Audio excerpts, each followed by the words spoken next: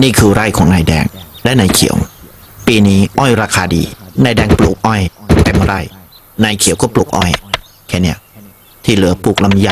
กล้วยข้าวโพด ขุดบ่อ เลี้ยงปลา ปลูกผักสวนครัว สมุนไพรแล้วก็ไม้ยืนต้น นายแดงหิวต้องตัดอ้อยไปขาย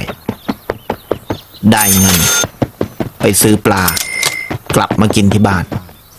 ส่วนนายเขียวตกปลาหน้าบ้าน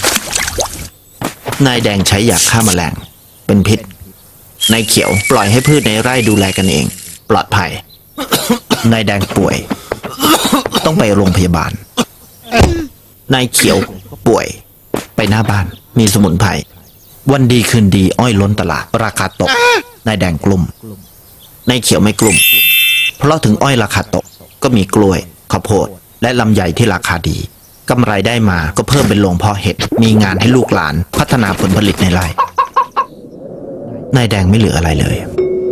ต้องส่งลูกหลานไปทำงานในเมือง